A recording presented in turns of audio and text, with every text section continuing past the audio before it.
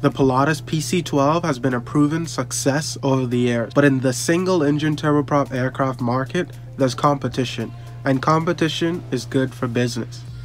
Today we're going to compare Pilatus's PC-12 NGX to the TBM 940, both their newest single-engine turboprop aircraft.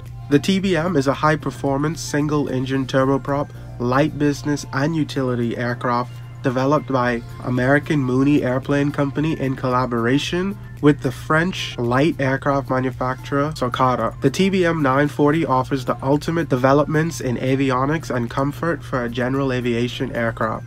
The Pilatus PC-12 is a single-engine turboprop passenger and cargo aircraft manufactured by Pilatus Aircraft of Stans, Switzerland since 1991. The main market for the aircraft is corporate transport and regional airline operators. The PC-12 is also the best-selling pressurized single-engine turbine-powered aircraft in the world. Both of these aircraft have many cabin configurations. The flight deck of the TBM features touchscreen Garmin G3000 suite, while on the other hand the PC-12 NGX has an Advanced Cockpit Environment or ACE. It's advanced avionic of high-end business jets tailored for single pilot use. We will compare the power plant of these two aircraft. The engine manufacturer for both the TBM 940 and PC-12 NGX is Pratt & Whitney Canada. The TBM 940 is powered by a PT6A series engine specifically the PT6-66D engine model with a power rating of 850 shaft horsepower. The Pilatus PC-12 NGX has the PT6E-67XP engine model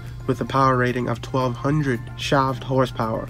Both the TBM 940 and PC-12 NGX has Hartzell 5-blade composite propellers which features reversible pitch, constant speed, and fully feathering propellers. These propellers were specifically designed to improve the aircraft's takeoff distance, climb, and cruise speed. Next is a comparison between these two aircraft. Just a quick performance disclaimer for the TBM 940 directly from TBM. Performance data is based on ISA conditions, max takeoff weight, and no wind. Range is based on the same conditions with one pilot and 45 minute fuel reserves at 31,000 feet. And the PC-12 NGX performance data is based on 1200 pound payload, long range cruise, 30,000 feet, single pilot operation, and executive configuration. When it comes to speed, the TBM 940 wins. It has a max cruise speed of 330 knots, while the PC-12 NGX has a max cruise speed of 290 knots. The TBM 940 can fly higher with a service ceiling of 31,000 feet, while the PC-12 NGX can only fly up to 30,000 feet. Not that big of a difference, but it is a difference. Next, onto the range of these two aircraft. Long story short, the PC-12 NGX flies further.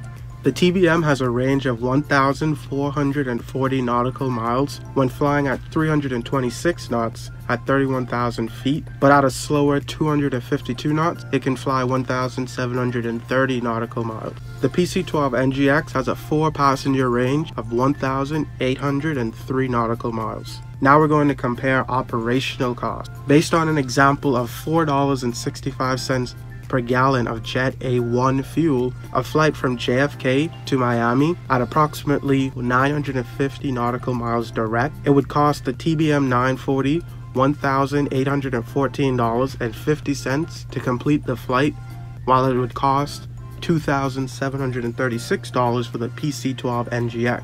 You can do some adjustments in cost and add some different variables, but in the end, the point is the TBM 940 is a smaller and cheaper aircraft to operate.